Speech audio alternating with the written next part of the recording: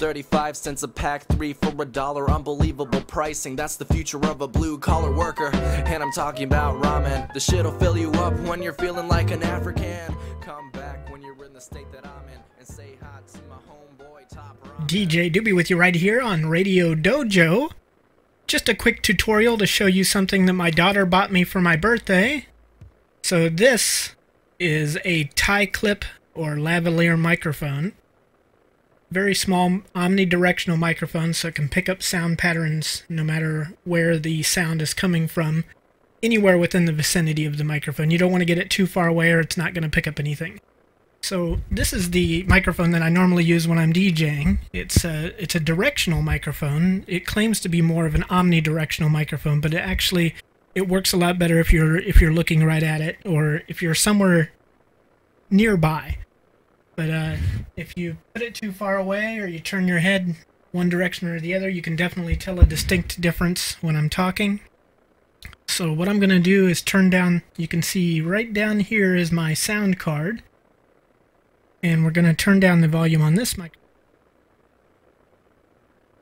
There's a few settings that I had to adjust in order to allow this microphone to work. Instead of working in the line-in mode, which uh, some microphones are able to use, it has to work in instrument mode. Uh, basically, just gives more headroom for audio to come through. So it, it it basically it's it's putting out a lower level of audio, so it needs to be pumped up in order for it to work. So right now, as long as I'm not moving around too much, you won't hear but if if I start touching it, and you also noticed when I held it up here, you can tell a difference in my voice. You want it down here because this is the this is the actual pickup that that is going to hear the sound. So you want that facing upwards, and you want it below the source of the sound. And why it's called a tie clip is because it comes with this tie clip. So what we'll do is turn down the sound so you don't hear all the rattling it's going to make.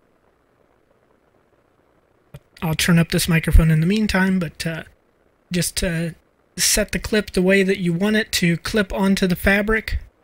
So I want it out and away from the body. So you put it like that. And then you slip the microphone down in through the top.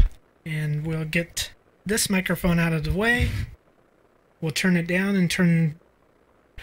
But uh, now, it's hard to see because it's down here, but... Uh, I could actually move it up a little bit. Like I said, you're going to hear all the noises it makes, so you want to try to put it somewhere where you're not going to brush against it, because it's going to pick up all that noise. And actually, this is a bad example because it needs to be kind of in a centralized location so that it can pick up your voice properly. So actually what I'm going to go ahead and do is just double over some of the fabric on my shirt here and make sure that it's put right under. One of the advantages, uh, the, the sound quality is definitely going to be different from uh, a microphone like this, which is a more expensive microphone. It also uses phantom power, so it has a better pickup inside of it to pick up the sound. It's more sensitive to different frequencies. Uh, but the, the nice advantage of this is once you get it turned up and set just right, it is omnidirectional, so it's going to pick up a lot of sounds. Like you might hear the uh, sound on the fan on the computer when I'm talking.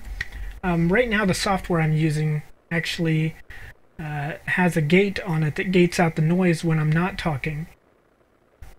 But uh, what's nice about this is I can put a nice long extension wire on this, and then if I need to show something way back here away from the computer, and this microphone isn't going to extend far enough to get close to my mouth, uh, but it's going to, to pick up the sound no matter where I'm at, no matter which way I turn my head, even though depending on the position of the microphone, it does sound like it's, it's picking up a little bit better over there.